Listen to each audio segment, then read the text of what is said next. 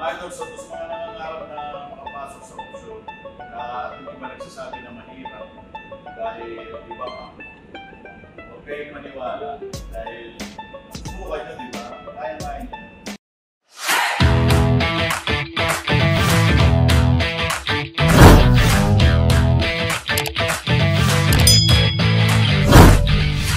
Approaching yung piloto natin, tingnan natin kung anong mangyari. Bali, andito kami sa Taichung, Taiwan. Dati akala ko yung piloto sa aeroplano lang. Meron din pala sa barko. Mask, kailangan natin mag-mask dahil kung hindi tayo naka-mask, bawal. Hindi po pwede ang hindi naka-mask. Oh, ayun yung dati kong company oh. Shout out dyan sa mga tiga Solstad. Yan oh, Norman ano ba yan? Parang Norman Jarl yan. Shout out Norman Jarl! Yun oh! Pilot approaching na daw. Asa na siya? Ayan. Ayan na nga. Parating na. Mabilis yan eh. Kailangan medyo mabilis. Mga 6 knots siguro yan, 7 knots. Tapos hahabulin niya tayo.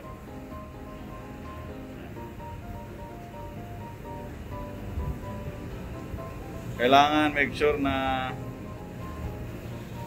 tama.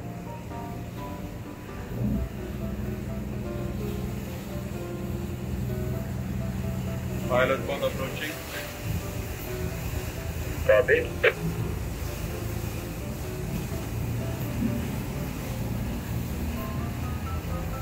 Okay, pilot boat uh, wrong side.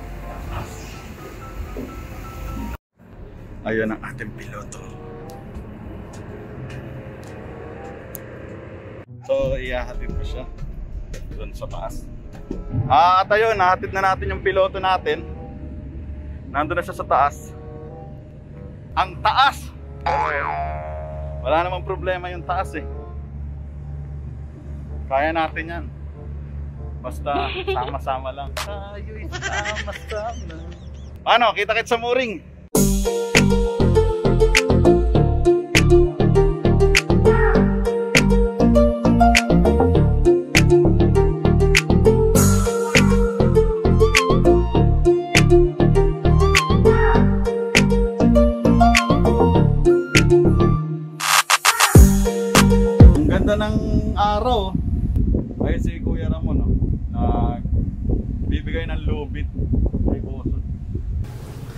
Yellow!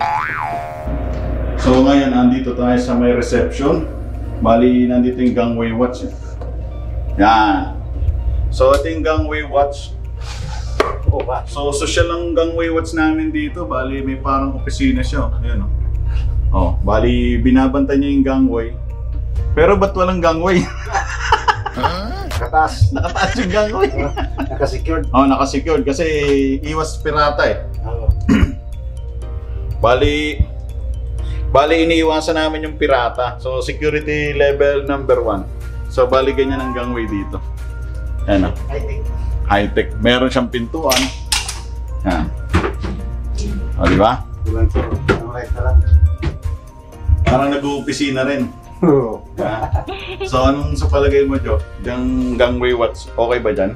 Okay, safety na safety. Kasi may eh. Hindi giginawin eh, no? So, ayun. Lalo, Ito yung ating smoking room. Kung saan mga nagyoyose ang ating mga tropa. Day room. Yan, pasok sa day room. Ito yung day room. Yan. So, kung, mga, kung gusto nyo maglaro ng dark, yan. Pwede dyan. At ito naman yung ating isa pang day room. Kung halimbawa medyo may gusto kayong pag-usapan ng mga personal na ayaw marinig dito. dito ka, di ba? Yan. Day room. Maraming day room dito eh. so, pwedeng tumambay dito. Yan. Manood ka lang ng TV. So, yan. Bali, tatlo yan.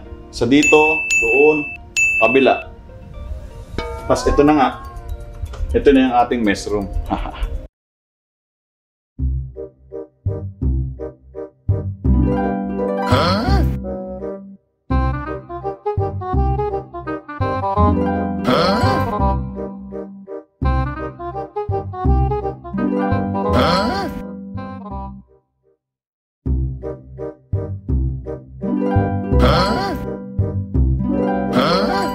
A few moments later. So ito yung conference room. So dito nagmi-meeting-meeting yung mga tao. May conference room dito. Ngayon, nandito naman tayo sa Captain Lounge or Marine Crew Lounge. So pag gusto mo mag-relax at gusto mo nang makapagsolo, makapagsarili dahil meron kang gustong hugutin, yan, dito ka. Yeah. Dito yung accommodation.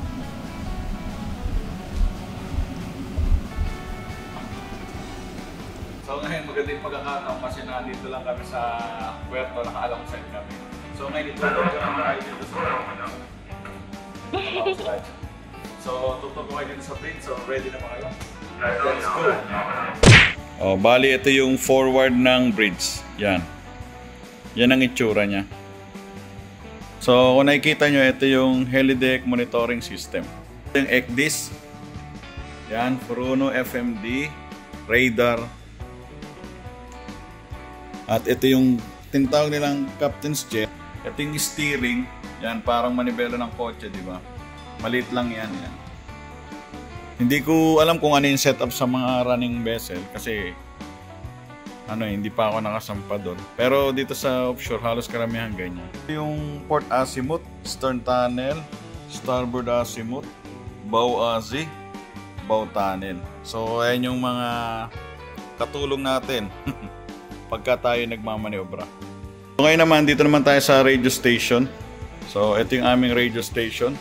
Yung Imarsat, yung Navtex, tsaka yung SSB. Yan. Yung lugar, pagka halimbawa meron kami mga gagawin na mga paperworks, email, mag-send kami ng mga email, dyan lahat yan.